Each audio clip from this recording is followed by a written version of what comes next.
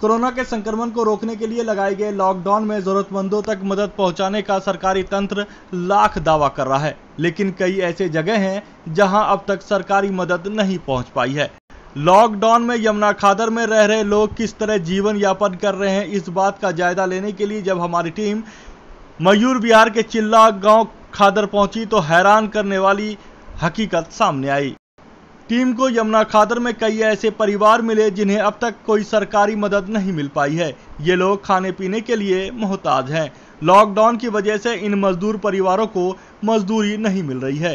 ये परिवार यमुना किनारे एक टापू नुमा जगह पर सालों से रह रहे हैं, जिन्हें ज़रूरत का कोई भी सामान लाने के लिए नाव का सहारा लेना पड़ता है।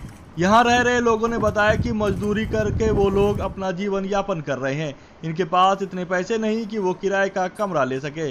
मजबूरन उन्हें यमुना किनारे रहना पड़ रहा है। भाई यहाँ पे 10 से 12 परिवार हैं और ये 70 80 लोग यहाँ पे रहते हैं। इनके लिए ना तो यहाँ पे पानी की सुविधा है ना किसी तरीके के राशन की सुविधा है और ये यमुना के बीच में रहते हैं। इन्हें आने जाने के लिए नाव का ही एक सहारा है। कि अगर ये नाव से उस पैर जाएँगे। अब ये बच्चे हैं कुछ जामिया में पड़े हैं कुछ चिल्ला गाँव के अंदर पड़े हैं। चिल्ला गाँव यहाँ से पाँच से सात किलोमीटर पड़ता है अगर पैदल जाया जाए तो। इन लोगों के अभी लॉकडाउन की वजह से भोजन नहीं मिल पा रहा है। किस तरीके से मदद हो रही है? इन लोगों को भोजन नहीं मिल पा रहा है। मैंने एक सामाजिक संस्था है सेवा भारती।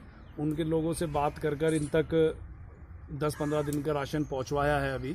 और जैसे जैसे मेरे पास खाने का कुछ सुविधा होती है तो मैं पहुंचाता हूँ यहाँ तक, मगर प्रॉपर तरीके से जो गवर्नमेंट की तरफ़ से मदद होनी चाहिए, वो भी इन लोगों को नहीं मिल पाई है।